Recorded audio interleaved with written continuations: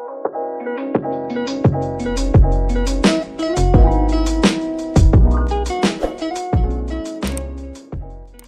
guys! Welcome back to my YouTube channel. So for today's video, ginawa ko tong um, illusion bottom up makeup look. So if you want to know how I did this makeup look, please just keep on So, watching. guys, pangalawang beses ko na tong mag-film kasi kahapon gumawa ko ng look na ang pangit ng kinalabasan. Siyempre, ayaw ko naman yun ipakita sa inyo. And sana ngayon is maayos na yung kalabasan ng look natin. And, yan. so, mag- mag-umpisa na tayo. So, ang gagamitin ko is itong Eye White Korea Aqua Moisturizer.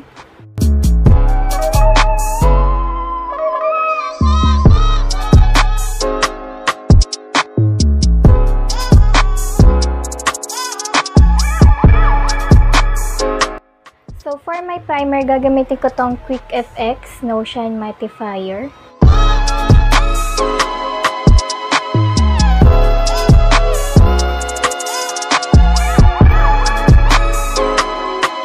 So, for my foundation, gagamitin ko tong Maybelline Matte, and, Matte Plus Poreless in the shade 230 Natural Buff.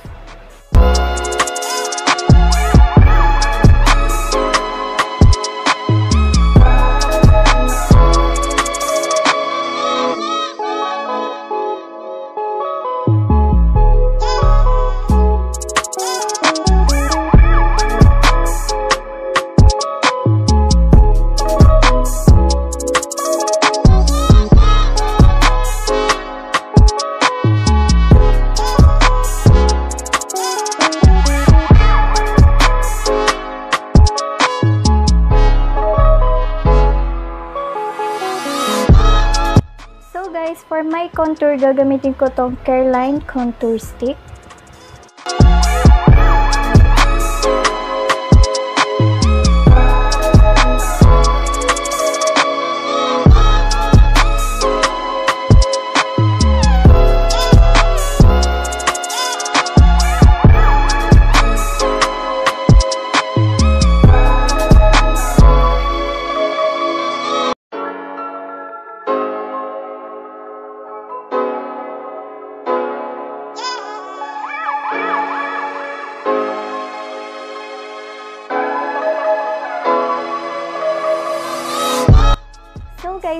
My powder, gagamitin ko tong Nichido Final Powder in the shade Creamy Glow.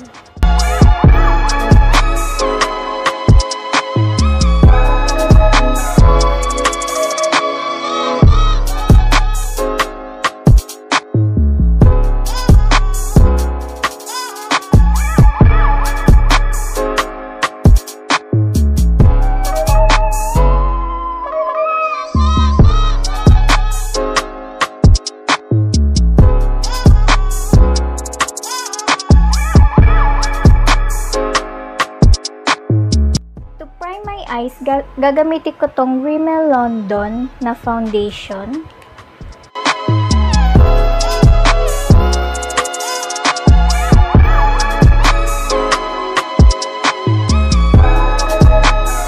So guys, for my palette, gagamitin ko tong Color Studio ng Beauty Glaze. And gagamitin natin itong shade na ito.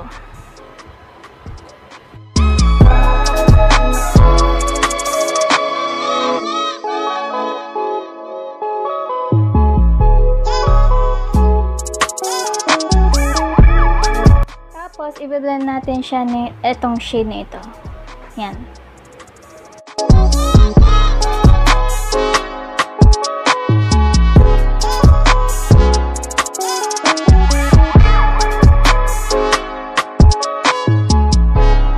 Tapos, i-blend natin siya nitong yellow na shade na ito.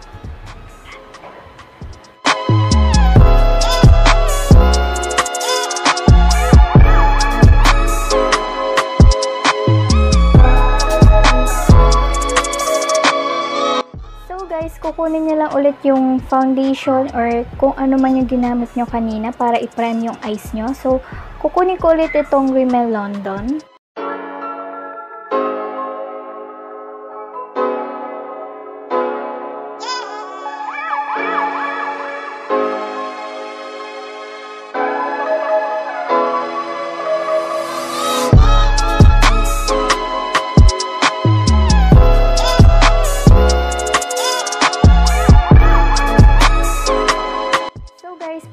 Shimmer, gagamitin ko tong shade na ito. Yan. Pero bago yon i-wet nyo muna yung brush nyo. So, gagamitin ko tong Lux Organics. Organics. Yan.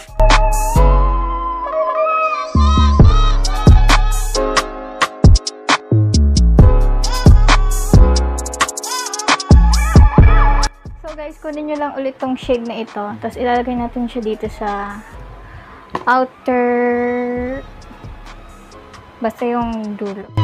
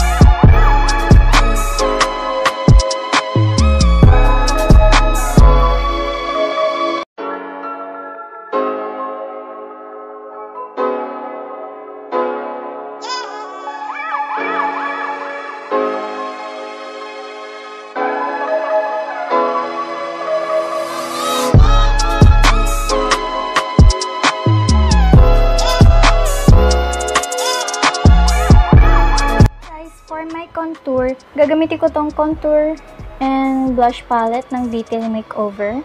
Gagamitin ko tong shade na ito.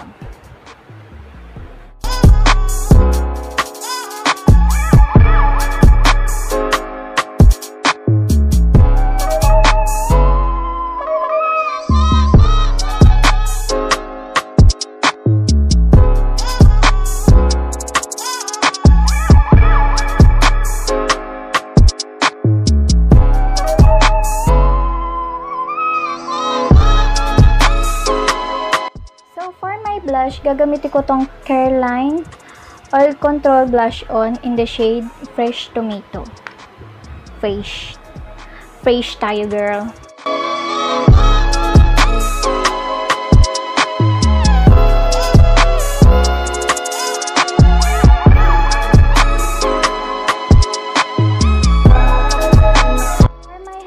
Gagamitin ko tong Vice Aura Glow in the shade Splendid.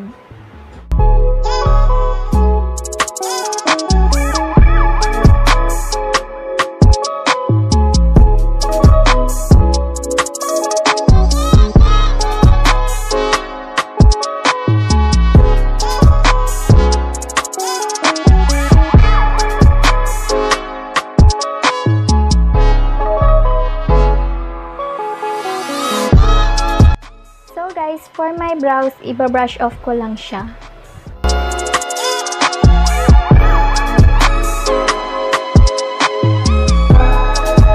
So guys, balik tayo sa eyes. Ang gagamitin kong eyeliner is itong Graph Ink Liner ng Careline.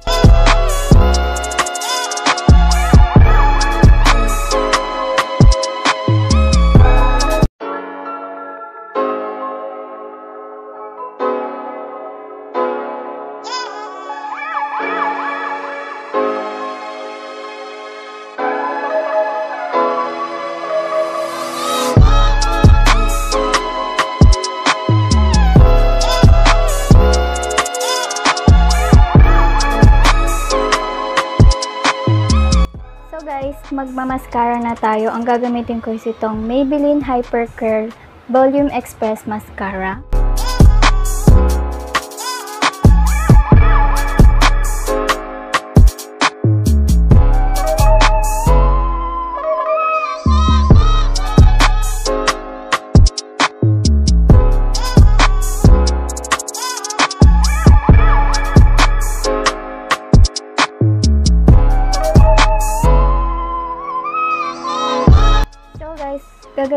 Gagamitin ko tong Careline Best Brow Liner para dun sa mga lines line.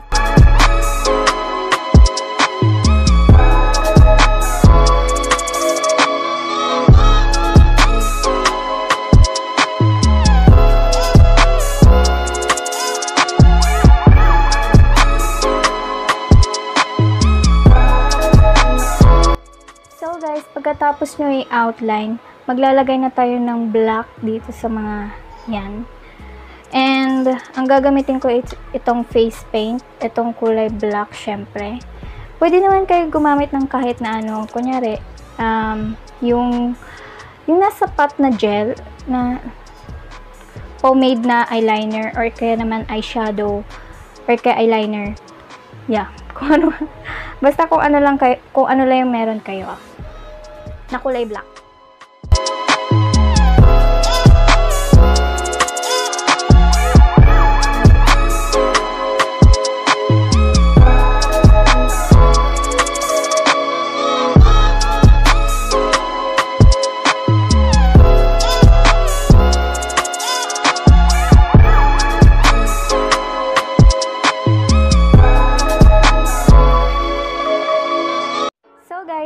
Ko ulit itong Color Studio ng Beauty Glaze. Kukunin ko tong black na ito. Isiset natin yung nilagay nating face paint.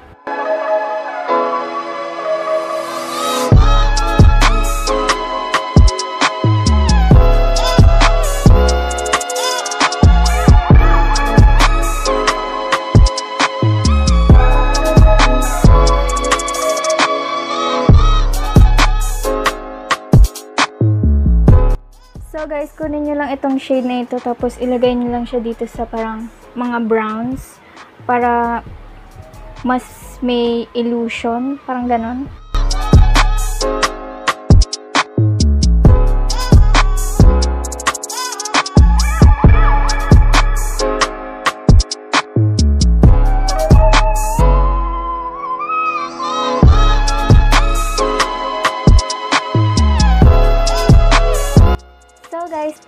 Pagkatapos yung gawin yan, um, kum kumuha lang kayo ng mga botones na magkakaparehas, tapos ididikit natin siya dito. Ayoko na kasi mag-drawing guys, so yung totoong botones na lang. Tapos ididikit nyo siya ng lash glue para dumikit siya. You know.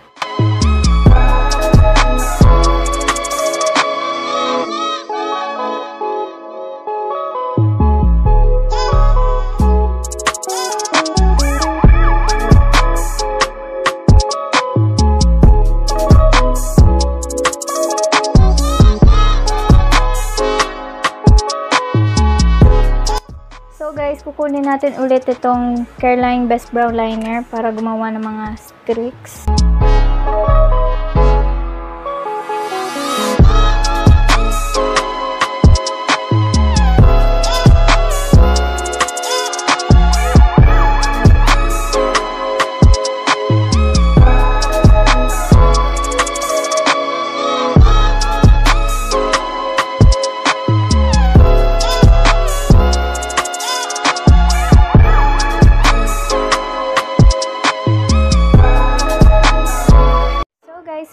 Lipstick, gagamitin ko tong Careline Soft Suede Lipstick in the shade Mood.